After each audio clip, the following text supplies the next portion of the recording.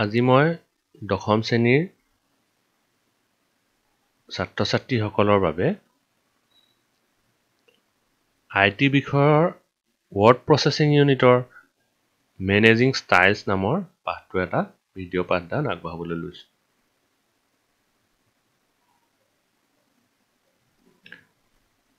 ছাত্ৰী ছাত্ৰীসকল এতিয়াত তোমালোকে শিকিবলগীয়া আছে। ষ্টাইলছ বা ষ্টাইল ছেট মানে কি?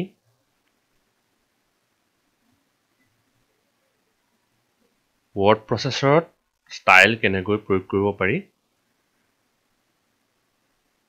আৰু ষ্টাইল আৰু ষ্টাইল ছেটৰ প্ৰেক্টিকেল মাইক্ৰ'ছফ্ট ৱৰ্ডত কেনেকৈ কৰা হয়? ছাত্ৰ ছাত্ৰীসকল এতিয়া আমি জানো হা ষ্টাইলছ বা ষ্টাইল ছেট মানে কি?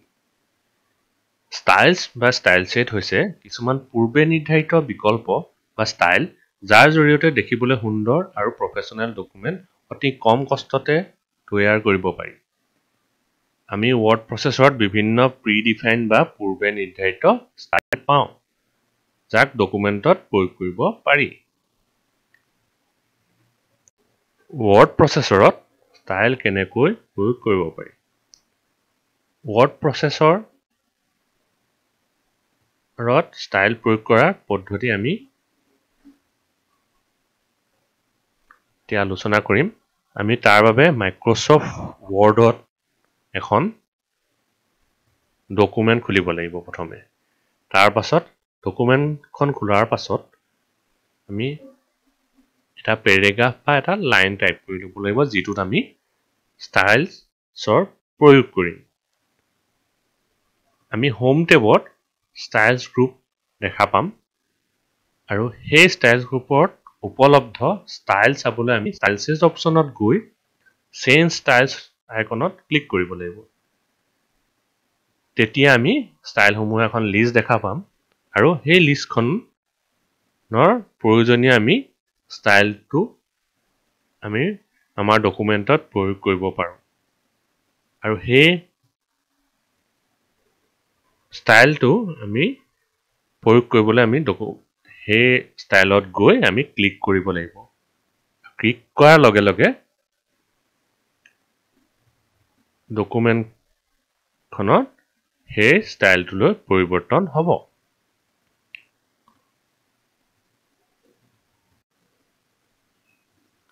এতিয়া মই তোমালোকক আগতে টাইপ কৰি থোৱা এখন ডকুমেণ্টৰ সহায়ত ষ্টাইলছ বা ষ্টাইল ছেটৰ প্ৰেক্টিকেল কৰি দেখাম। তাৰ বাবে মই মাইক্ৰ'ছফ্ট ৱৰ্ডত আগতে টাইপ কৰি থোৱা এখন ডকুমেণ্ট এতিয়া অ'পেন কৰিছোঁ। ডকুমেণ্টখন খোলাৰ লগে লগে আমি হোম টেবত ষ্টাইলছ গ্ৰুপটো দেখা পাম। সেই ষ্টাইলছ গ্ৰুপটোৰ অন্তৰ্গত বিভিন্ন ধৰণৰ ষ্টাইলছ থাকে। সেই ষ্টাইলছসমূহ আমি ইয়াত ছটা ষ্টাইল দেখিছোঁ। এই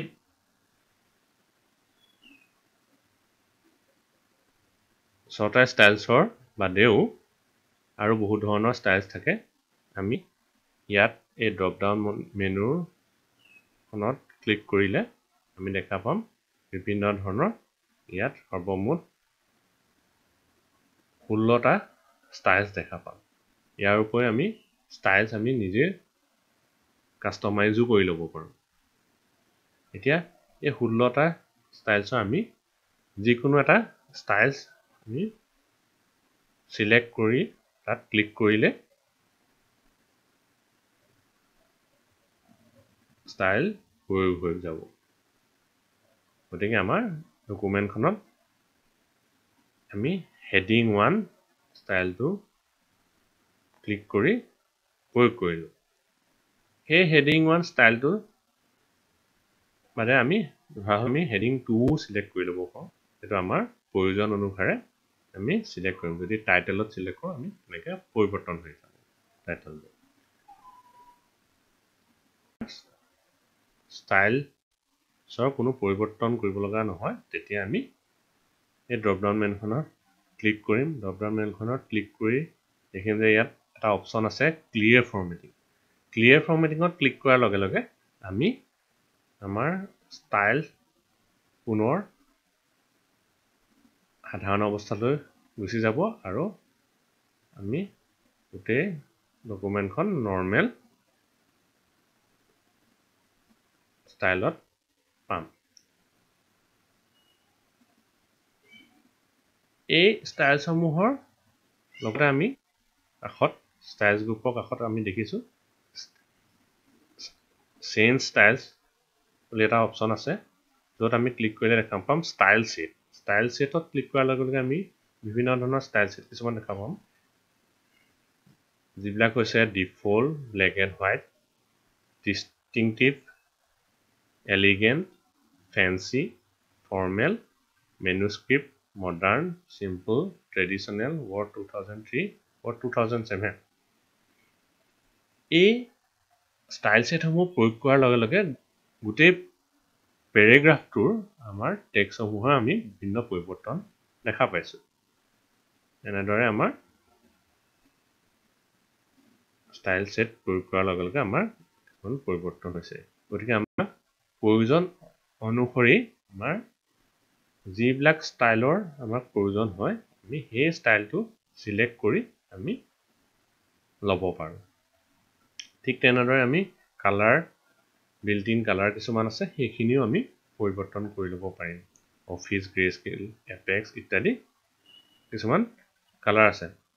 এই কালাৰসমূহ আমি প্ৰয়োজন অনুসাৰে আমি ইয়াত থিম কালাৰ হিচাপে ব্যৱহাৰ কৰিব পাৰিম।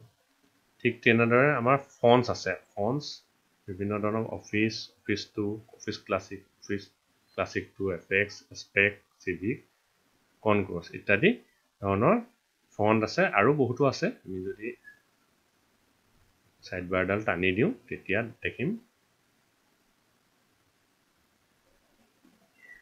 বিভিন্ন ধৰণৰ ফণ্ট আছে। আমি প্ৰয়োজন অনুসাৰে আমি সেই ফণ্টসমূহো ইয়াত চিলেক্ট কৰি ল'ব পাৰোঁ।